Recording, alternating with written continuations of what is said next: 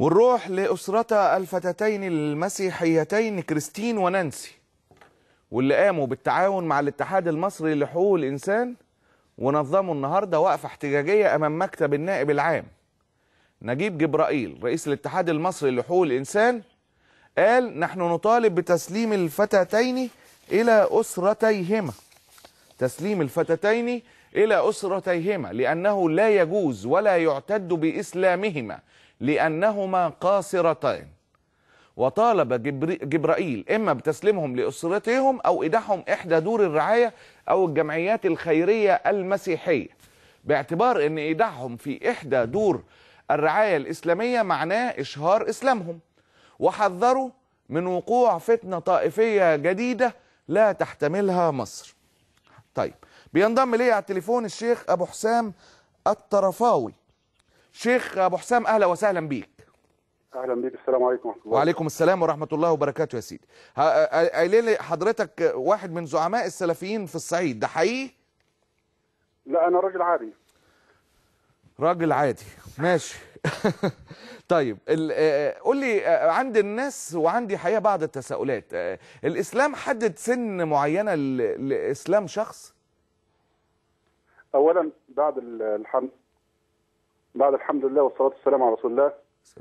ال- علشان نتكلم في في الموضوع كده على عجالة سريعا. اتفضل. لابد من وضع مبادئ معينة. أيوه. أول حاجة أن النبي صلى الله عليه وسلم آه، بعث بدين الإسلام. هم. هذا الدين كان من المبدأ الأساسي فيه هو الا إكراه في الدين. أيوه. ألا يكره أحدا على الدخول فيه. وإنما بالدعوة إليه وإلى محاسن الإسلام. هم. فلا يوجد في شرع الإسلام شيء اسمه إكراه على الدين. هم. الأمر الثاني هو أن آه، ولادة الإنسان نفسه في الإسلام أن الإنسان يولد على الإسلام كما قال النبي صلى الله عليه وسلم ما من مولود إلا ويولد على الفطرة. قال العلماء الفطرة هنا هي الإسلام إلى أن يبلغ سن البلوغ. سن البلوغ الذي الذي قال عنه النبي صلى الله عليه وسلم يرفع القلم عن ثلاث أيوة. منها وعن الصبي حتى يحتلم هم المقصود به يرفع القلم عنه أنه لا يؤخذ بجرائمه يعني لا يعاقب على جرائمه معاقبة البالغ الكبير ها وإنما إذا ارتكب جرائم في هذا السن وهو سن قبل البلوغ يرتكب جرائم يحاسبه القانون أو مم. يحاسبه القانون الإسلامي محاسبة تأديبية وليس قضية ال- ه- سن البلوغ؟ حدده العلماء. ما بين أو آه، الأساس في سن البلوغ هو أن يحتلم الصبي أو تحيض البنت. فإذا حاضت البنت فقد بلغت وإذا احتلم الصبي فقد بلغ. لكن اختلف العلماء في تحديد السن. فعامة الفقهاء قالوا أن خمسة- خمسة عشر عاما 15 سنة هو تحديد سن البلوغ. إلا في مذهب الأحناف حدده ب 18 سنة والمشهور من مذهب المالكية. المقصود بسن البلوغ هو المعاقبة على الجرائم. هم على ما يرتكبه من الجرائم. طيب لو أن الطفل أو الم- الطفل المميز بعد سبع سنوات فعل فعلا في صالحه أو في صالح بلده أو في صالح أهله هل يعاقب على ذلك أم يجازى على هذا الفعل؟ ويشجع على هذا الفعل. بطبيعة الحال يشجع على هذا الفعل. مم. لأنه إذا لم يفعل فعلا فيه ضررا على نفسه ولا على المجتمع فلا يعاقب عليه. أيوه. يعاقب لا يعاقب على ذلك. فبالنسبة للإسلام هذا نفع له. هم بالنسبة للإسلام نفع له. فلو دخل دين الإسلام هو في الأصل مسلم عند الإسلام لا- إذا لم يبلغ سن البلوغ. إذا لم يبلغ سن البلوغ في الأصل أنه مسلم. فإذا كان هنا هو بعد عشر سنوات أو بعد سبع سنوات وهو مميز ويدرك وأعلن إسلامه ودخل في دين الله طواعية لا كرها من أحد فهنا لا يجوز هم عندهم آه،. كريستين ونانسي عندهم قد إيه اللي عرفته إن كريستين وانس واحدة 16 سنة وواحده أقل 15 سنة تقريبا و- وهم يعني بلغوا سن البلوغ. 16 سنة يعني في ال- في السن القانوني الشرعي حوالي 17 سنة. هم أهو القمريه ها طيب وهو وهم دخلوا طائعين مختارين آه، بدون أي ضغوط بدون أي آه، أي حاجة؟ على حسب ما ظهر في الفيديو اللي هو تكلموا فيه بالنسبة لل للي ظهر في التحرير والفيديو اللي ظهر على اليوتيوب إن هم آه، دخلوا الإسلام طواعية دون كرها من أحد. مم. حتى إن هم راحوا بمفردهم يعني ما ما فيش حد كان معاهم خالص. وكانوا بيستغيثوا. مبدأ آخر في الإسلام علشان نبين القضية وهو مبدأ الإجارة. الله تبارك وتعالى يقول وإن أحد من المشركين استجارك فأجره حتى يسمع كلام الله. ثم أبلغه مأمنه. فهنا يجب على المسلم طبعا الحكومة حكومة مسلمة فيجب عليها حماية ال- الفتاتين حتى الحكومة الحكومة فوق إنها مسلمة هي حكومة مصرية لكل المصريين. ما. هي الحكومة المسلمة لكل الناس. مم. مسلمين و- أو غير مسلمين. وبرضه مش عايز أخش معاك في حكاية جدل آه، الآية بتتحدث عن المشركين وليست عن أهل الكتاب. لا ما هو في المبدأ العام أن أهل الكتاب مشركين. في المبدأ العام عشان نكون صرحاء. في المبدأ العام أن أهل الكتاب من المشركين. مم. لكن خص عن المشركين بمعاملات غير المشركين بمعاملات طيبة. اللي هي الزواج منهم حل طعامهم حل ذبيحتهم آه، المعاملة بالبر والإحسان والإقساط وغير ذلك. كل ذلك موجود في أهل الكتاب. نحن نعاملهم معاملة البر والإحسان. يختلف عن المشركين الأصليين. فهنا القضية قضية الفتاتين سن البلوغ حتى أن بعض أهل العلم مثل الشيخ عبد المجيد سليم شيخ الأزهر سابقا يعني قال لو سن لو سبع سنوات بعد سبع سنوات لو أسلم لو أعلن إسلامه طواعية فهذا يعتبر مسلم. آه، عندي ليك أسئلة تانية ولكن حابب حضرتك آه، تنتظر معايا على التليفون لو سمحت لو تكرمت. بينضم لي على التليفون الأستاذ آه، نجيب جبرائيل. أستاذ نجيب أهلا وسهلا بيك. ازي حضرتك يا عم أنت جايب واحد ده شتمنا وإحنا مشركين وإحنا كفار وحكومة مسلمة جايب له واحدة شتمنا لا كلام. إطلاقا أنت عارفني يا أستاذ نجيب. لا مش معقول الكلام ده.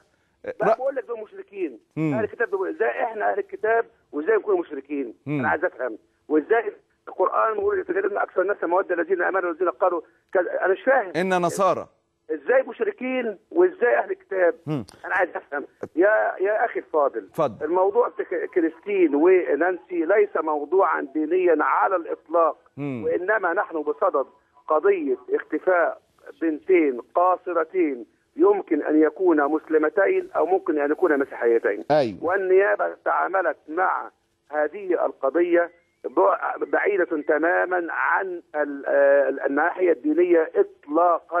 أيوة. ودول بنات اختفوا كان بيحبوا عيال آه، توك توك ولا ما أعرفش بتوع إيه واختفوا لمدة 12 يوم ثم ظهروا في القاهرة. أنا كنت النهارده مع النبي العام. أيوة. ثم ظهروا في القاهرة. وبعدين تبين إن هناك علاقة حب بين الطرفين. لا علاقة لهم بالإسلام ولا غير الإسلام مم. ولا بالمسيحية ولا حاجة خالص. وبعدين تم هم الولدين خي... البنتين خايفين من أهلهم من يرجعوا. النيابه ادت قرار طبقا لقانون الطفل إن تسلمهم لإستضافة في لجنة تسمى لجنة حماية الطفل يومين ثلاثة أربعة خمسة سبعة ايا كان الأمر. و- وادت قرار لمحاولة التوفيق أو لمساعدة في التوفيق بينهم وبين أهلهم. هذا الموضوع لا يتعلق نحن إحنا إحنا لسه لسه ما خلصناش من الموضوع كامل ما ده اللي- موضوع تاني؟ أهو ده اللي بنقوله. ده اللي بنقوله يا أستاذ نجيب. إحنا بنحافظ على مصر يا اخوانا لما أيوة. واحد يقول مشركين يبقى ده بيحافظ على مصر. لا. كتاب مشركين. وحكومة إسلامية. إذا كان الأزهر الشريف المحترم بيقول الإسلام مش ده إحنا مش دولة دينيه اطلاقا. بقول إن إحنا إذا كنا دولة مدنية لكن لنا مرجعية دينية مفيش مشاكل. بنحترم إحنا الإسلام ونحترم المادة الثانية ونحترم كل حاجة. والإسلام بيحترم المسيحية كمان يا أستاذ. والأس... والإس... والإسلام بيح... الإسلام بيحترم المسيحية أيام احترام يا أستاذ نجيب. اي بس ما تقوليش مش مشركين. عيب. مم. عيب الكلام ده عيب. عندك حق. ال- التحقيقات النيابة تح... أنتوا أنتوا إنتوا قناة محترمة تجيبوا واحد يشتمنا. لا اطلاقا. كلام. اطلاقا اطلاقا اطلاقا.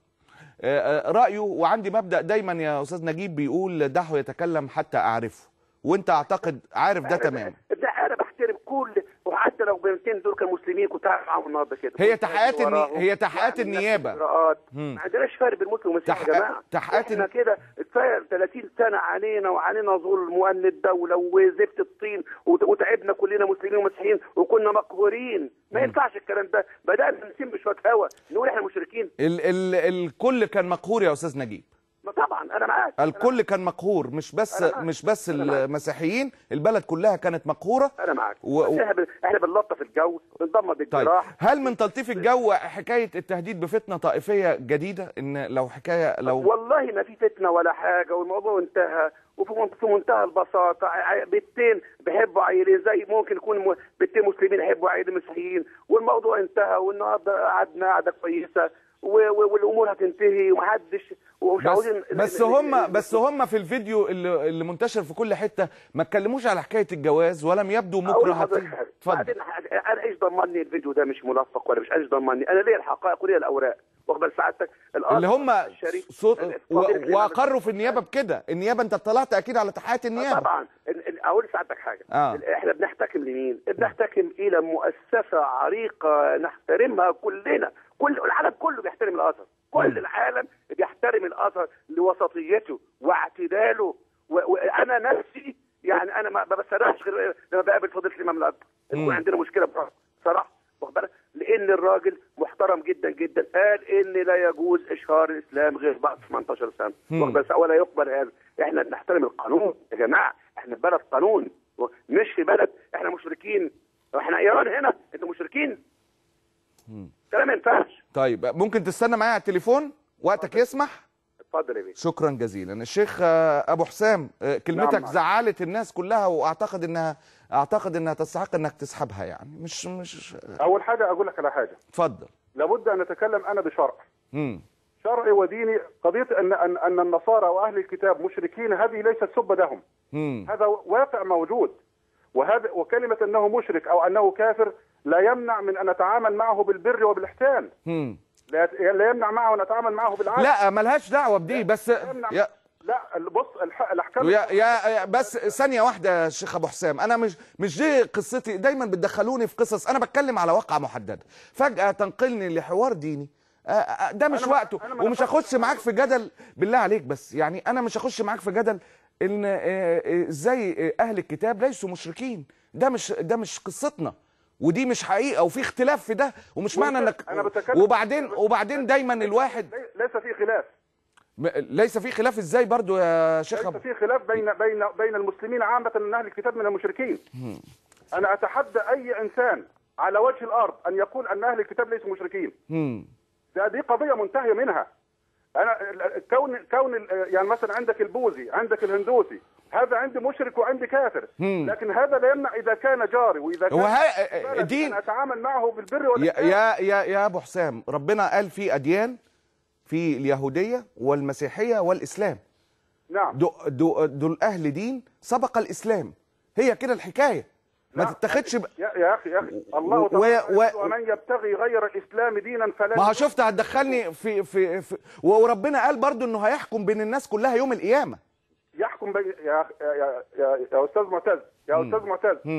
لابد أن نبين أحكام الشريعة، أحكام الشريعة أن ومن يبتغي غير الإسلام دينا فلن يقبل منه. اذا هناك مسلم وهناك غير مسلم. غير المسلم ده إيه؟ أنا أنا أنا كمسلم عند النصراني وعند اليهود وعند البوذي أنا أنا مؤمن؟ لا بالطبع لا أنا مو أنا كافر. أنا كافر بعقيدته هو عنده. هو مم. لأن كافر بعقيدته هو كذلك هو عندي كافر لأنه كافر بعقيدتي أنا مم. ده وضع طبيعي يا جماعة دلوقتي النيابة قررت الذي لا يؤمن بدين آخر هو كافر عند الدين الآخر آه. ما ما أنا مش مطالب ال- البلد مش مطالبين إن المسيحيين يؤمنوا بدين المسلمين بالتأكيد. طبعاً. ولا المسلمين يؤمنوا بدين المسيحيين. إنما مطالبين بإيه؟ مطالبين إن إحنا بالإحسان. نحترم بعض ونقدر بعض ولا يصدر مننا ما يسيء لطرف آخر ولا طرف آخر يصدر ده ده اللي إحنا بنسعى إليه. بتا... مش بتسعى إليه ما هو تبقى برضو انتقاء ال- الكلمات يا شيخ. انت أنا بنتقي كلماتي من ديني ما بنتقيش كلماتي من بره ديني. مم. زي مم. أنا بنتقي من طيب خليني في الواقعة المحددة وكلمنا على الواقعة المحددة بالله عليك عشان نعم. الرجل معايا على الخط الثاني دلوقتي النيابة قررت إيه في هذا الموضوع؟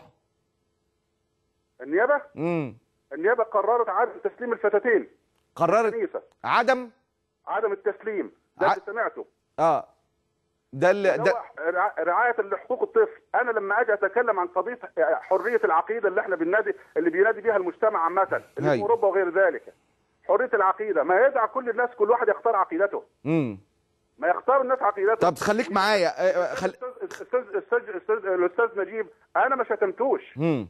إذا كان هو راجل تبع حقوق الإنسان ورئيس حقوق الانسان منظمة حقوق الإنسان في مصر هذا حق للفتاتين دول ان هم زي يختاروا عقيدتهم.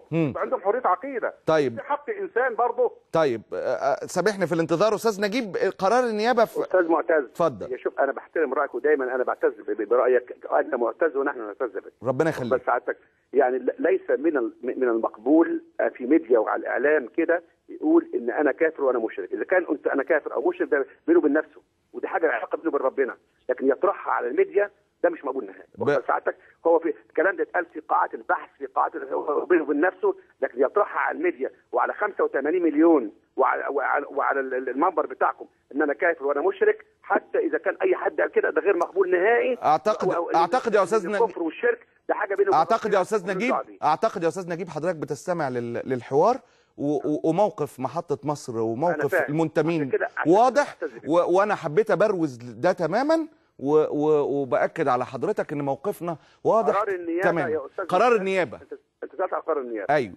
قرار النيابة كان واضح جدا جدا جدا. لم يتعلق من قريب أو من بعيد بمسألة العقيده وإنما كان يطبق قانون الطفل بمعنى أنه كان يحمي الطفل. مم. بمعنى آخر إن هو يعني يعني شكل لجنة طبقا لقانون الطفل تسمى لجنة حماية الطفل. أيوة. هذه اللجنة تقعد مع الأطفال أو مع الصغار إحنا بنسموها اطفال لكن هم يعني هم تحت 18 سنة بيسموا طفل. أيوه.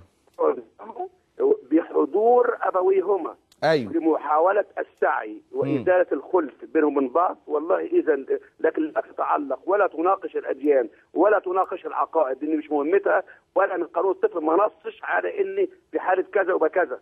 دي مسألة بعيدة تماما عشان الكل يعلم أن هذه المسألة غير متعلقة بالأديان يعني في النيابة جاء تماما بعيد عن الأديان نهائي جميل. يعني في لجنة آه، آه، آه، أوكلت ليها النيابة. بالظبط. مهمة متابعة الموضوع. بالظبط. طيب يبقى إحنا كده مطالبين كمان يا أستاذ نجيب إن إحنا ما نسخنش الدنيا. طبعا. ننتظر يعني أنا من أنا مع حضرتك. آه. حتى أنت لما أنت بتكلمني يا أستاذ معتز قلت لك مسألة مالهاش دعوة بالدين خالص نهائي. ممكن عيلين بنتين مسلمين يعملوا كده. وولدين مسيحيين يعملوا كده. ايا كان. واللجنة دي هي اللي عهد إليها إنها تصل لقرار. بالظبط هل يستمروا هل يعودوا هل يف بالظبط. و... و... وأنا بحترم دولة القانون. و... وننتظر كلنا كلمة القانون. و... وأي كلمة حضرتك آه، شفتها إساءة بعتذر ليها أنا بصورة شخصية. وأنت عارف آه، يا أستاذ نجيب آه، بكل تأكيد إن إحنا نكن الاحترام للجميع. ولكني لا أمسك لسان حد. وكمان بحترم الشيخ أبو حسام. شيخ أبو حسام لسه معايا؟ نعم معك. آه، نعم. نعتقد ما إحنا كلنا لازم ننتظر قرار اللجنة يا فندم. نعم ننتظر قرارنا وبس لازم يعني إيه نخلي بينا نوع من الرحمة نوع من ال- من البر نوع من الاحسان طيب يا يا شيخ حسام معلش يعني أه، أه، افتح لي صدرك كده يا شيخ أبو حسام الطرفاوي و- و- وطالبك بده كمان.